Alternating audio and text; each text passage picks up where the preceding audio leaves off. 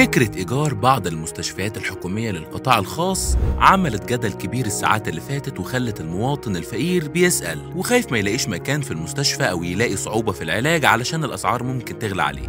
الحكاية يا سيدي ابتدت لما الدكتور خالد عبد الغفار وزير الصحة والسكان قدم للحكومة نتيجة الاستثمار في قطاع الصحة والشراكة مع القطاع الخاص وإن الشراكة دي بتفرق في إدارة وتشغيل المنشآت الصحية زي مستشفيات المعادي وهليوبلس والعجوزة والشيخ زايد النهيان وأورام دار السلام. وزير الصحة بيقول إن الشراكة مع القطاع الخاص الهدف منها مصلحة المواطن وهي في إنه ياخد خدمات وزارة الصحة في أفضل شكل ممكن. ومن هنا طالب إنه ممكن يكون في مشروع قانون يسهل من نقل إدارة المستشفيات من إدارة الحكومة للقطاع الخاص.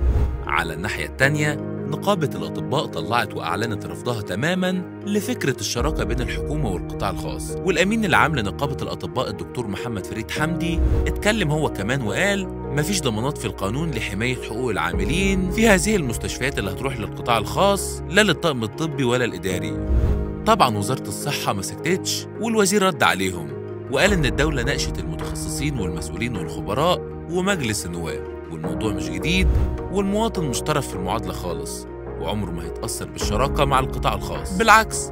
ده لما هتتم هتتقدم خدمة عالمية للمريض وده من غير ما يدفع أي زيادة. الوزير اتكلم كمان على فكرة الشراكة مش معناها إن الوزارة فاشلة في الإدارة.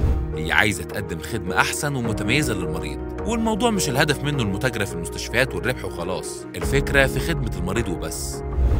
الفكرة بقى إن الموضوع لسه بيدرس. مفيش أي قرار رسمي طلع من أي جهة رسمية أو حكومية وده زي ما إحنا متعودين أي حاجة بتخص المواطن الحكومة بتطلع بتقولها بشكل رسمي.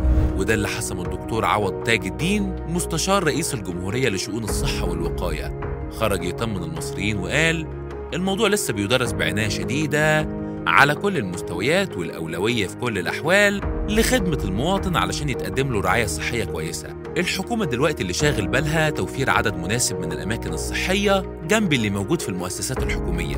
ومش بس كده كمان بندرس الاستفادة منها مهما كانت هي إيه. وده اللي شفناه السنين اللي فاتت في كتير من المبادرات زي مثلا تطبيق قانون التأمين الصحي الشامل والعلاج على نفقة الدولة والقضاء على قوائم الانتظار والكشف المبكر عن الأورام.